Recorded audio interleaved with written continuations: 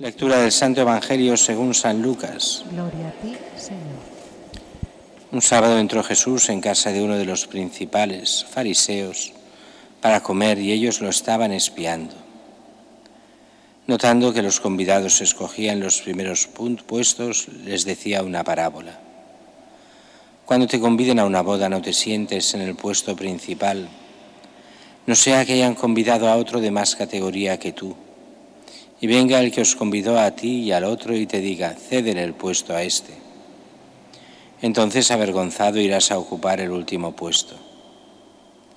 Al revés, cuando te conviden, vete a sentarte en el último puesto para que cuando venga el que te convidó te diga, amigo, sube más arriba. Entonces quedarás muy bien ante todos los comensales, porque todo el que se enaltece será humillado, y el que se humilla será enaltecido. Palabra del Señor.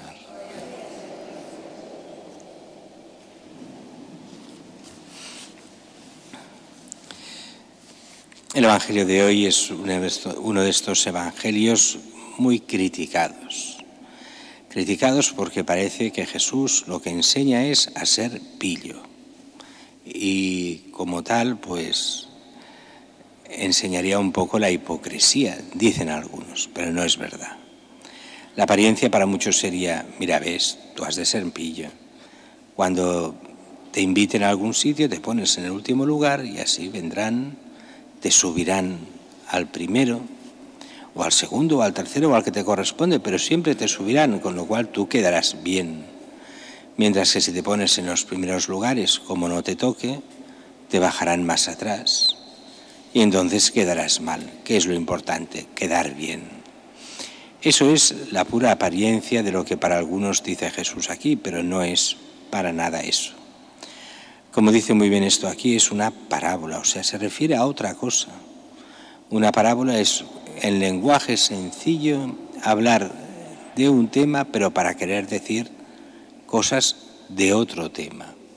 Así, cuando hace esta parábola no está hablando de ese banquete en el que Jesús está, donde ha visto que muchos se ponían primeros y todos luchaban para los mejores puestos, sino que está hablando del reino de los cielos, el auténtico banquete celestial. Para llegar a ese banquete, ¿qué hay que hacer?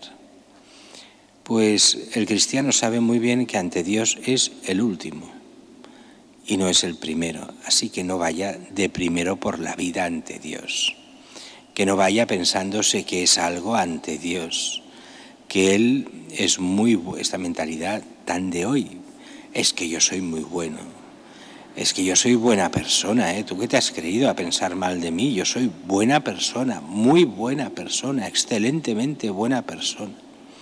Y eso, por desgracia, lo oímos tantas y tantas veces.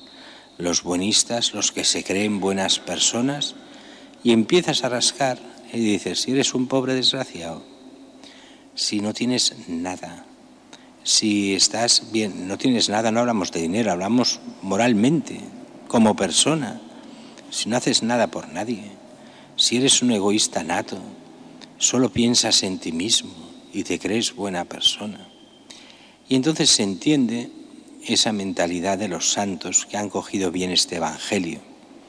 Los santos cuando decían que ellos eran los máximos pecadores y cuando se ponían en el último lugar y sabían que, porque lo sabían bien, que aunque uno intente ser santo, siempre nos queda mucho y cuanto más santo, más se dan cuenta de lo que les falta.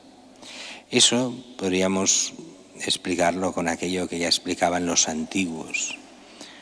Cuando alguien empieza a leer y escribir, piensa, uy, ya lo sé todo, fíjate, ya sé leer y escribir, cuánto sé, soy una persona de cultura, piensa mucha gente así. Y antes que no sabía leer ni escribir, ni se da cuenta de aquello, sí, sabe que existe leer y escribir sin embargo, una persona que ya ha estudiado mucho más dice, leer y escribir, ¿qué es? No es nada. Mira, yo he leído, dirá aquel, pues no sé, cientos, mil, dos mil, tres mil libros. Pues bien, el que va leyendo tanto se da cuenta que lo que le queda por leer es muchísimo más. Cuanto más sabe, más ignorante se da cuenta que es. Pues con la misma mentalidad, cuanto más sabes, más te das cuenta de lo que no sabes y que es infinito lo que no sabes. Y por eso te das cuenta de que eres ignorante, aunque sepas mucho. En la santidad es el mismo camino. Cuanto más creces, más te das cuenta de lo lejos que estás de la meta y más eres consciente del pecado y de lo que es el estar lejos de Dios y de cómo ese camino de santidad todavía se parece mucho más largo. Por eso el cristiano se da cuenta que echa de poner en el último lugar. Aquel que se crea importante. ¿Quién es importante hoy? Perdonad que os lo diga, nadie. Uno dirá, bueno, pero es que este es ministro, presidente de gobierno, o presidente de no sé qué. Eso no es nada. Ante a los ojos de Dios solo es más responsabilidad y dar más cuentas a Dios.